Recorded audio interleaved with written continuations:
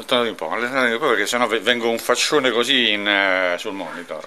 Ecco, ecco mettiti, mettiti là. Ecco. Dai. Allora ragazzi, questa è una, eh, diciamo un aggiornamento eh, in corso d'opera perché eh, stamattina dopo aver reiteratamente richiesto il documento del cosiddetto informato elettronico attraverso la trasmissione della nostra posta elettronica certificata come prevede il tanto decantato processo telematico. Sì, tanto, tanto per dire, proprio l'altro ieri in televisione, perché il bello è che in televisione ci sono anche dei programmi illustrativi, in televisione hanno fatto vedere cosa succede in, in Francia, dove praticamente il sistema telematico è in funzione, però è un sistema telematico che è in funzione dove chi manda e chi riceve c'è il sufficiente senso sia di giustizia no? di che, di rispetto, di che di rispetto del cittadino e che di intelligenza. certo, Quindi questi non sono solo dei, dei cialtroni, a incominciare dai magistrati non solo non capiscono un cazzo e pretendono di comandare sugli altri, esatto. e poi sono pure dei ladri, capito? allora, non sono capaci nemmeno di far funzionare queste cose no, che loro stessi hanno organizzato. Nel, nel, nell'assoluto minimalismo poi, almeno Oltretutto. al minimo, no, niente, niente zero. nemmeno quello. Allora, diamo un po' di cronistoria. Ci eh, diciamo, eh, soffiano di sotto il naso un diritto costituzionale che è quello del diritto ed obbligo di eh, eh, indizione del referendum consultativo in caso di mutazione del diritto del cittadino, di una traslazione dei diritti sovrani del cittadino. Oh, intendiamoci bene, quando tu parli di, no, quando tu parli di diritto costituzionale, tu non parli di un diritto generico, c'è un articolo specifico che prevede proprio cosa si deve fare certo. quando dalla città metropolitana si va dalla città, allora, dalla città semplice, dal comune, si va alla città metropolitana. Intanto c'è l'articolo costituzionale numero 48 che stabilisce che il, il cittadino elettore ha il diritto, dovere eh, di poter avere accesso al voto libero, eh, democratico e uguale per tutti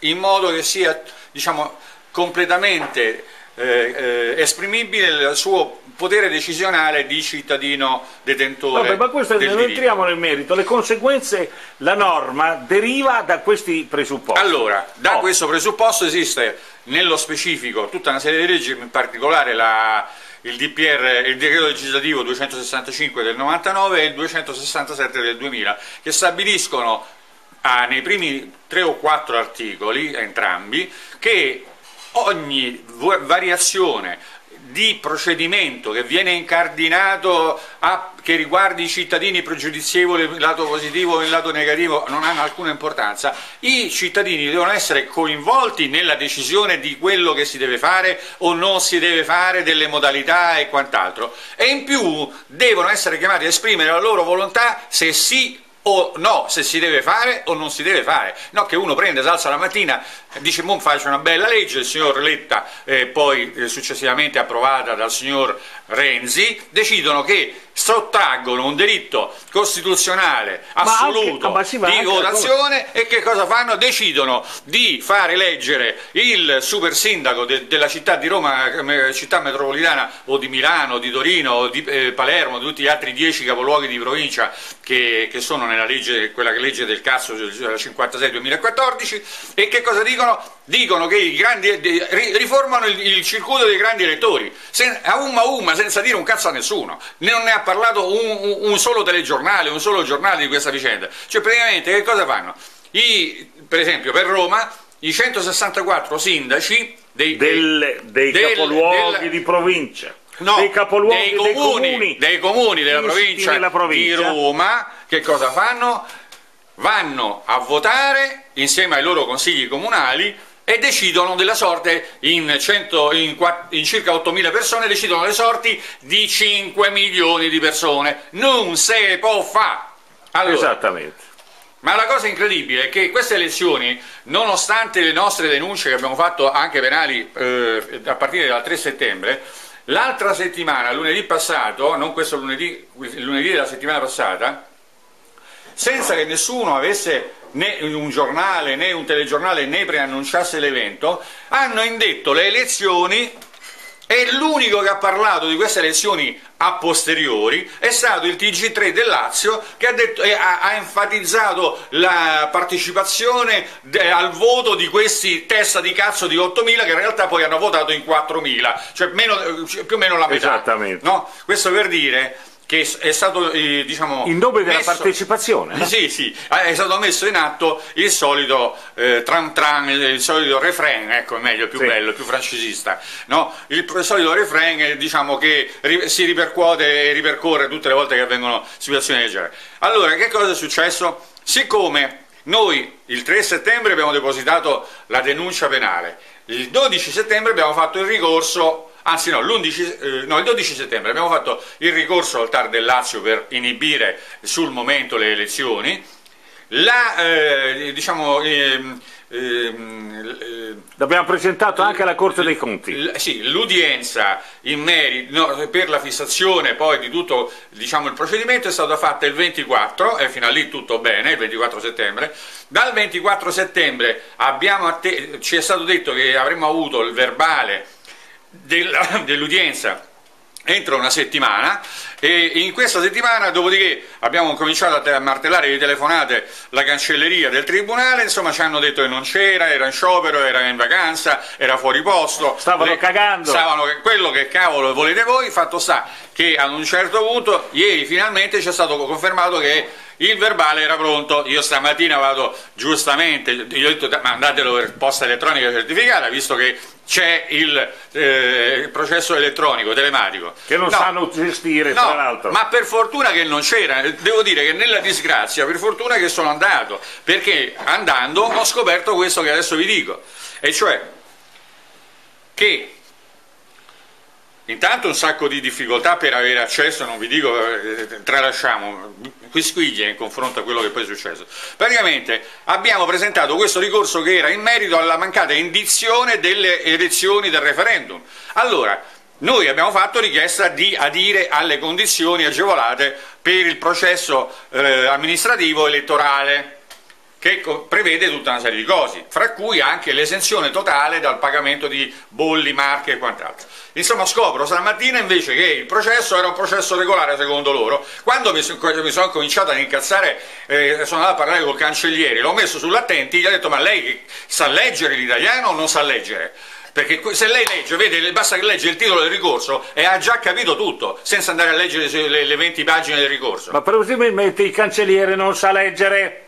Ma quello è un analfabeto, quello, tanti quello che, che, hanno inserito negli gangli dello Stato. Quello che è incredibile è che pure il giudice non sa leggere, pure, esatto, il, il, il, pure ti, ti il capo ufficio del cancelliere non sa leggere. Cioè, è mai possibile che una cosa così eclatante, di una dimensione, diciamo così, immane, come può essere la mancanza indizione di una elezione, che è esattamente la situazione che stiamo vivendo anche a livello politico cioè, nazionale, cioè è mai possibile che non c'è un eletto e questo invece viene lì e fa come cazzo gli pare.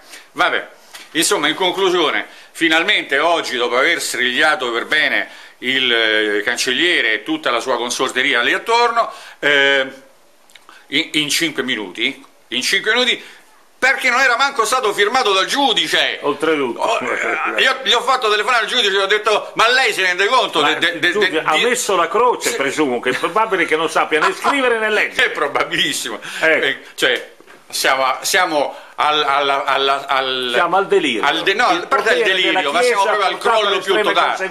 Il crollo più totale del, del senso dello Stato. E quindi il potere della Chiesa. Certo. Cioè, ma lo, lo, diciamo così. Allora, il libro che uscirà fra breve, che sto completando, in ultimo, a parte la denuncia con l'elenco degli immobili dei, dei 2.000-4.000 milioni di miliardi di proprietà della Chiesa e compagnia bella, di euro, eh, non di 2.000 milioni, Appunto, 2, 2, 2, milioni di miliardi di lire. Bertone. Eh, no, allora, c'è una bella, eh, diciamo, schema rappresentativo del potere. Esattamente. Fatto benissimo, no bene, benissimo, in cui tutti i tasselli stanno nel loro giusto ordine, dove in cima all'ordine c'è il cupolone. C'è il cupolone, giustamente. Mi pare ovvio. Eh, allora, eh, per finire, eh, oggi finalmente, poi in 5 minuti, si sono eh, dati la mossa tipo Franceschiello e hanno completato il tutto, per cui hanno tolto pure gli orpelli che certo. c'erano, hanno pure tolto che dovevo pagare 32 euro e ho pagato 1,68 euro perché giusto il diritto di, eh, di, di copia, mi sembra giusto. E quindi ecco, adesso ho letto finalmente il verbale e dal verbale ho scoperto, perché eh, non, prima non potevo, che esiste, è stato accolto il discorso di pronuncia che aveva fatto l'avvocato eh, Cerchiara, eh, in cui ha detto, perché c'era stata quella diciamo, carenza nostra iniziale di mancata eh, notificazione alla controparte, eh, quindi eh, è stato dato giustamente il tempo per ricominciare la procedura dell'atto di citazione. Quindi noi adesso dovremmo citare la controparte, eh, Comune di Roma, area metropolitana Roma Capitale, eccetera, e eh, poi eh, andare in, al TAR per fissare finalmente una data dell'udienza nel merito. Questo bisogna farlo al più presto perché altrimenti occorre dirlo, in questa fase il eh, cosiddetto eh, super consiglio comunale, quello dell'area metropolitana, in realtà è un abuso, è, un, è, è un'usurpazione di diritto perché noi non abbiamo mai ceduto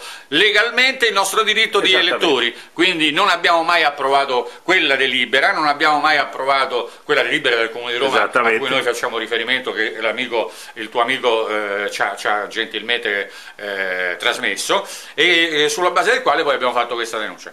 Insomma, ecco, finalmente entro speriamo qualche giorno incominceremo il leader normale. Nel frattempo qualunque iniziativa prendesse la eh, città metropolitana di Roma capitale è, è comunque fuori della legge. Esattamente. Allora io voglio concludere per fare un ulteriore e ultimo chiarimento perché non, non è uscito fuori da questo.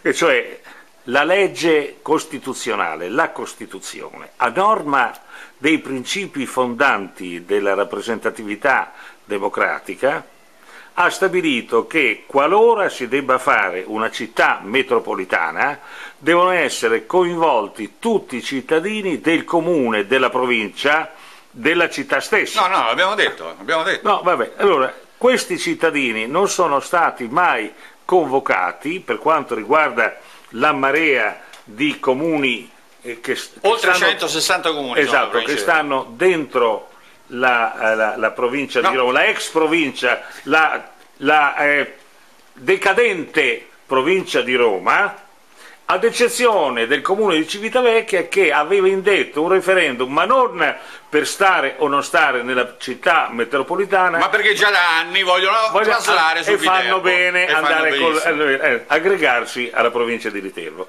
Dopodiché, cari amici, vi terremo informati sugli, sugli No, io volevo aggiungere una postilla Dai. velocemente, e cioè per far capire la, la normità e l'assoluta la eh, infamità di una simile situazione, va detto che mentre anche la Costituzione stabilisce che il diritto vale per tutti ed è uguale per tutti e un voto è un voto, Qui invece in questa sporca eh, leggina che hanno fatto la 56-2014, fra l'altro prevedono una diversità di valore del voto. Allora, c'è a secondo della dimensione demografica del paese 5.000, 10.000, 30.000, 50.000, 100.000, 250.000, 500.000 e un milione. Allora, di città sopra il milione nella provincia di Roma c'è solo Roma. Certo. Quindi i eh, 50 elettori del Consiglio Comunale di Roma più il sindaco, il voto di questi signori vale 1. Mentre tralascio tutta la trafila, tutta la varia filiera, scendo all'ultimo. I paesi sotto i 5.000 abitanti, che nel Lazio sono tantissimi, soprattutto quelli in collina e montagna, il voto dei loro consiglieri e dei loro sindaci vale 0,3. Cioè, c'è un coefficiente di valore che cambia completamente le carte in tavola. In modo che comunque sia, ma a prescindere poi dal ragionamento che si può fare che è, risulta evidente a tutti, il che è veramente una ignominia. La cosa ancora più ignominiosa è che comunque talmente illiberale la, la, legge che prevede che il sindaco di questa eh, città, Roma Capitale, deve essere per forza il città del, del, del Comune di Roma. Cioè questa è una violazione al diritto essenziale de- naturale. della, della, dell'equità che fra- potrebbe essere benissimo il sindaco di Scurcola Marsicana. Certo, che magari è più molto tito- più degno, c'ha più molto- titoli. ma più titoli e più degno di questo cialtrone che sta qui Questo, a, questo ad proprio- amministrare. questo signore è ad- proprio eh, ad indefinibile, questa- Ta- è talmente abnorme nella sua nullità e nella sua negatività che è indefinibile. E appunto, va bene per quest'Italia. Up to the